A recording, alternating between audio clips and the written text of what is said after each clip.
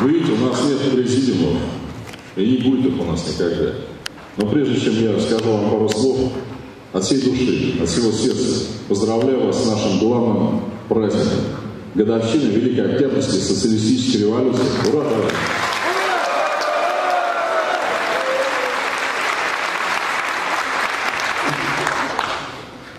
Видите, мы с вами, не знаю, как повернется история, но мы с вами уже сейчас присутствуем, ну, наверное, на уникальном мероприятии с 91 года. Это первая попытка снизу, без всяких спонсоров, без всяких проектов, без всяких администраций, создать по-настоящему народное социалистическое движение тех, кто не смирился с тем, что с нашей страной совершили в 91 году предатели, захватившие власть, отнявшие у нас будущее, издевавшийся над нашими стариками, посадившими их на такую вот пенсию, разгромившими страну, которую строили 500-700 лет десятки поколений наших с вами людей.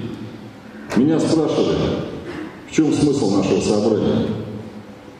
Наше собрание, чтобы показать мы есть, мы силы, нас не сломить, нас не купить.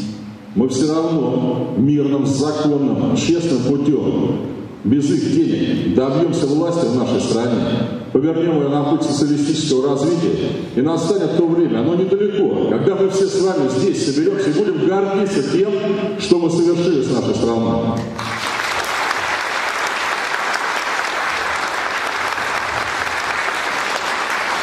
Поэтому резолюции, пленумы и все прочее мы с вами сделаем и в следующем году, особенно в 2021 когда благодаря нашей с вами работе, агитации, моей, вашей, вне зависимости от наших титулов, должностей, возрастов, мы возьмем власть в этой стране. Мы должны сказать об этом. Мы не идем в народ для того, чтобы пройти в Думу, набрать вместо 15 мандатов 17, о чем-то потом договориться.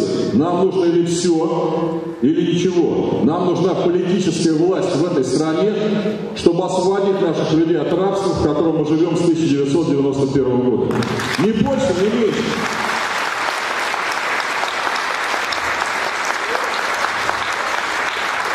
Трудно ли это? Ну, конечно, да. Но вы видели здесь этих людей, которых мы вам пытались представить. Каждого из нас кто-то погиб, кто-то положил жизнь на алтарь этой великой страны, о которой говорит весь мир и всегда будет говорить, потому что за нами, за нашими отцами и дедами 70 лет, затаив дыхание, смотрел весь мир. Мы впервые смогли тогда взять власть и показать всему миру, что человек не скот, что человек действительно царь природы, что человек это существо с большой буквы, что мы живем не для того, чтобы толкаться локтями, а того, чтобы поставить друг другу плечо. Да, произошла временная неудача, но тем быстрее, мощнее еще сильнее будет наш взлет на новой основе, на основе нового социализма.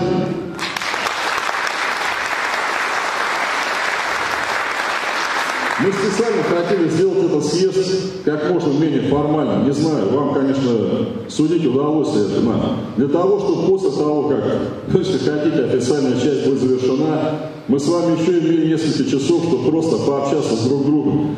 Ведь мне просто переполняет гордость, я не знаю, да наверное, не то слово, не, не знаю даже, что переполняет. От Комсомольска на Амуре до Калининграда, от Дагестана до Мурманска впервые собралась страна, которая говорит «нет» тому, что здесь происходит, и которая станет, я больше чем уверен, вот наше с вами собрание, основой, зародышем того нового гуманного социалистического строя, который у нас будет.